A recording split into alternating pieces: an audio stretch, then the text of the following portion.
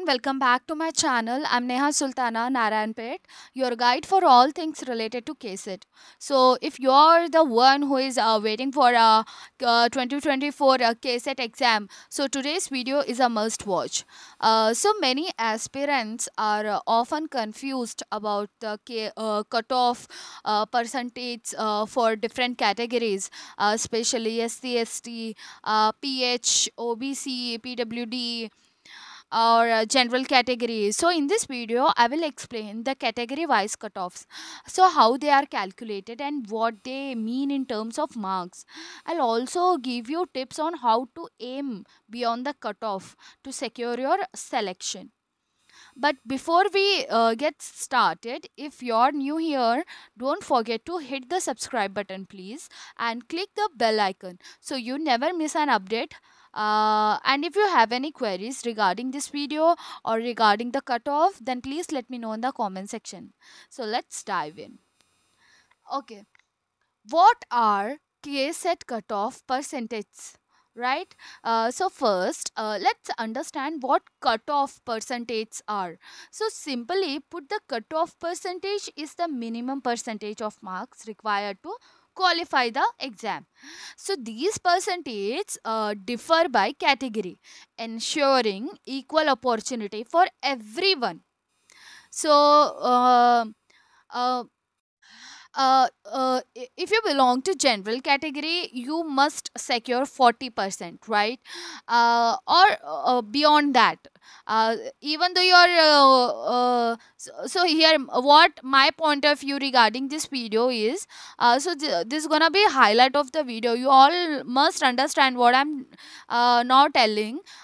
Even though you're getting acquiring uh, uh, 40 percentage or 35 percentage. But still it depends on cutoff right? Uh, number of uh, candidates who appeared in both the exams. So regarding that who scored the highest? So on that basis cutoff list uh, comes out right? So on that even though you are getting 40% 35% it does not mean that you are uh, qualifying the KSET exam. Your marks your result of KSET depends on cutoff right? I hope you all clear on this topic okay now uh, that we know the percentage uh, uh, let's calculate the qualifying marks based on this cutoffs. Assuming the total marks are 300 okay? Uh, so we are not assuming it is uh, we know it is uh, 300 sorry for that. Uh, so for like uh, SC category uh, 2A like all all the 35% uh, stage uh, category I'm talking about. Uh, so here mm cutoff percentage is 35 so let's calculate how how many marks are required. So marks required equal to percentage divided by 100 into total marks. Okay? I hope you all are uh, getting what i'm uh, what i'm explaining here Mm, so candidates belonging to uh, 35 percentage की category like KCST I'm not gonna repeat all those category again and again. Uh, so categories so these uh, 35 percentage की category student uh, need 105 marks uh, to obtain 35 percentage okay? This means uh, if you're from the uh, SCST 2A like all etc your target should be at least 1 or 5 marks. But remember this is just the minimum. A higher score increase your chance of success okay? Uh, so here uh, i hope you all are clear on this. Uh, so finally for general category candidates the cutoff percentage is 40% so let's calculate okay? Uh, so this means candidates in the general category need to score 120 marks out of 300 to qualify. Okay? Uh, so i'm gonna provide you a chat here. Uh, so uh, so it's a comparison chat. I know SCST OBCR comes under uh, 35% uh, so they have to you know uh, take uh, they have to uh, uh, obtain uh, 105 marks uh, if they want to get 35 percentage. Then uh, if uh, general category students uh, need to get 40% right? So they have to score 120 marks. Even though you are getting these marks but still your uh, results is based on you know that cutoff list so uh, as you uh, here is a quick comparison of the qualifying marks uh, required for each category as you can see candidates from uh, that uh, SCST, OBC, 2A, 2, uh, th- uh, 3B, or PWD, transgender categories uh, need 1 or 5 marks while general category candidates need 120 marks. So now let's discuss why are cutoffs different. You might wonder why are these cutoffs dif- different? Well, this is part of India's reservation policy, right? This is this is what India's reservation policy ensure fair representation of candidates from diverse socio-economic backgrounds. So it creates a level playing field for everyone. But keep in mind that qualifying with the minimum cutoff doesn't guarantee success.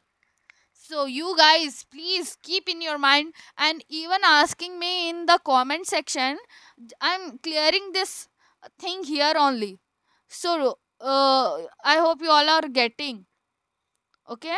Qualifying with minimum cutoff doesn't guarantee success. For example, if many candidates from your category score higher, okay, like uh, I'm talking about uh, 2APH or uh, SCST, uh, they also uh, has to obtain a 105 marks for uh, 35 percentage, right? But they are scoring like.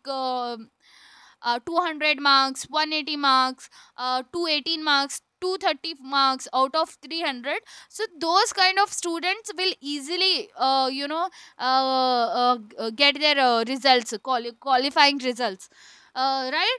Uh, so uh, many candidates from your category score higher then only the top scorers will be selected. So always aim beyond the cutoff.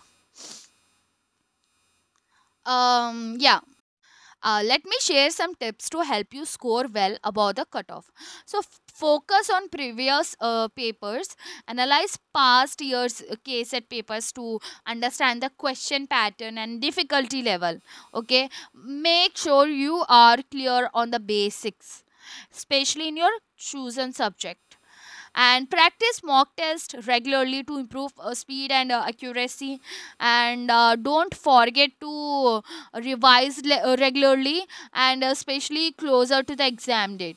So remember the cutoff is just a benchmark. Your ultimate goal should be to perform your best. I hope this video helped you understand the category wise cutoff percentage and how to calculate the qualifying marks for KSET 2024 Remember, success in KSET is not just about clearing the cutoff, it's about consistent effort and determination. If you found this video helpful, don't forget to like, share, and subscribe to my channel. Your support keeps me motivated to create more useful content for all of you. Also, hit the bell icon so you're notified every time I post a new video. If you have any questions, drop them in the comments below. I would love to help. Until next time, keep learning, stay positive, and best of luck for your KSET journey and your uh, results. See you soon.